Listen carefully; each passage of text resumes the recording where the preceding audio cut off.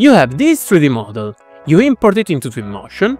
In Twinmotion, you assign materials and create a context, but your customer asks for a design change.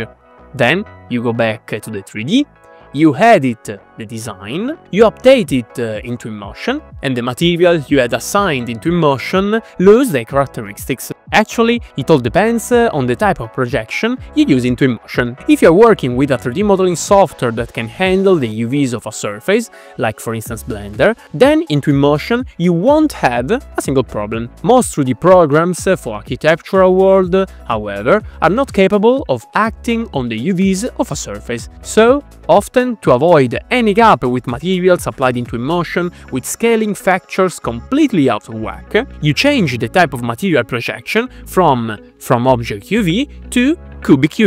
Although it seems that the problem has been solved, whenever in 3D you modify the reference surface by cutting it, inserting new components into it or generally changing its structure, updating the project with direct link, the result in Twinmotion will see the surface change, but at the same time, the scaling factor of the previously applied material will also be changed.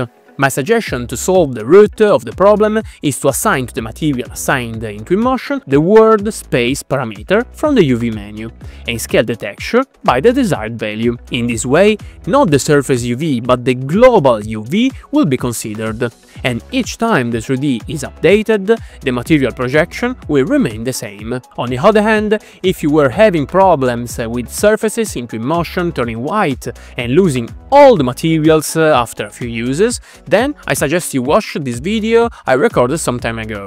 You can find the link in the description. Thank you very much for watching this video. As always, please like the video and subscribe to my channel to support uh, my daily work and thank you so much for being part of my community.